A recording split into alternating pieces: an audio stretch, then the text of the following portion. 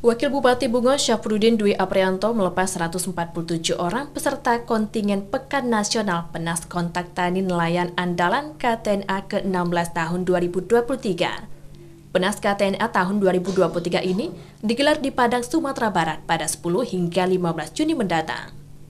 Wakil Bupati Bungo Syafruddin Dwi Aprianto mengatakan, Penaskat TNA merupakan kegiatan untuk meningkatkan motivasi dan semangat petani dan nelayan, serta masyarakat pelaku agribisnis.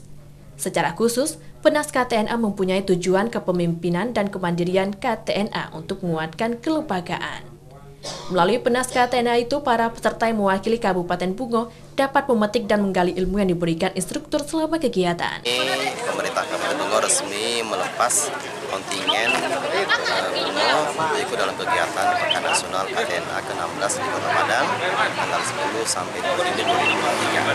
Tentu ini merupakan yang baik buat para uh, petani kita se-Indonesia untuk sharing informasi terkait juga dengan perkembangan di bidang pertanian juga yang lainnya terutama masalah teknologi pertanian. Harapannya dengan diskusi itu nanti akan uh, menyerap semuanya dan akan juga bisa kita bawa.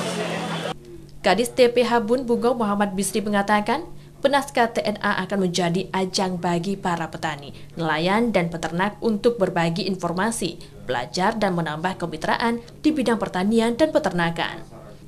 Kegiatan ini eh, akan diisi berbagai seminar, kemudian juga ada sarasehan, ada juga nanti pertemuan penyuluh dan akan diikuti oleh peserta kita.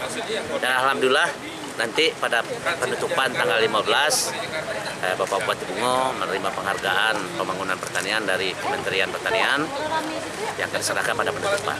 147 kontingen itu terdiri dari petani pangan, petani hortikultura, perkebunan, petani ternak, dan petambak ikan.